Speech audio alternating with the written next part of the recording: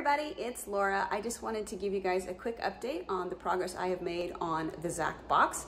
There are 12 quilt blocks total and I have completed four. So let's get into it and I'll show you what I've done. Okay, so here is block number one of the Zach Shabby Chic box. Um, I did not film the process and the reason why is because Zach is doing bi-weekly tutorials on this and I didn't want to step on toes because he is doing these, these tutorials only for the folks who actually bought the box. So as not to encroach on that, I am just going to show you the finished product of every single block.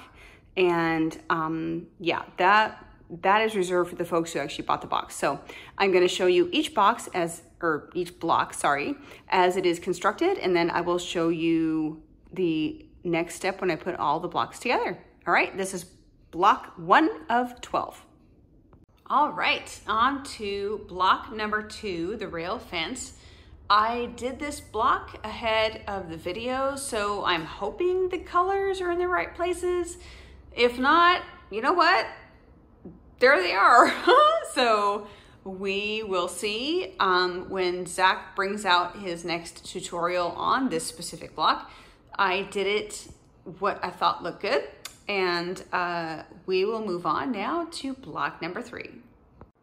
Okay, on to block number three. This is the Churn Dash quilt block. And I am the first to admit that I kind of suck with half square triangles. Um, three out of the four ain't bad. Uh, the one in the northwest corner, this one's a little, yeah. Uh, once it all goes together, it'll be fine. It's just almost kind of funny that, I mean, you know, 75%, three out of four ain't bad, but um, there you go. There is the Churn Dash quilt block.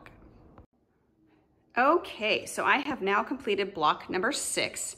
I skipped ahead over block four and five just because after the last quilt block number three, and I kind of failed a little bit at the half square triangles, I thought, you know what? Let's just skip ahead to nothing but half square triangles and see if I can improve my technique a little bit. And I'm not completely dissatisfied. I mean, most of my points are pretty close. And if you look at like there, it's on point, there it's on point, there, yeah, I kind of fudged that a little bit, but here it's like where these eight points come together is still bulky. Not sure how to fix that unless I just ironed the heck out of it. Um, but yeah, other than that, it's not horrible and I am pleased with it. And that's the great thing too about doing a sampler block quilt is you use different patterns, different techniques, different cuts.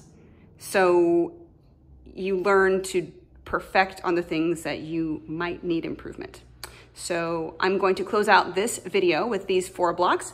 I'm gonna do the next four and then the next four and then the final video will be the whole thing put together. Stay tuned, thanks.